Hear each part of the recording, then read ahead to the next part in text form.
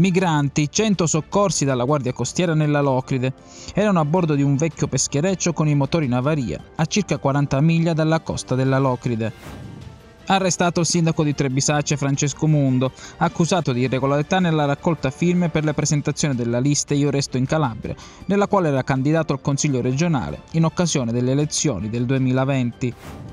Sono strafelice del contributo che Nino Spirli e la Lega stanno dando qui per il futuro dei calabresi, lo ha detto Matteo Salvini, in visita in Calabria per partecipare alle iniziative della Lega.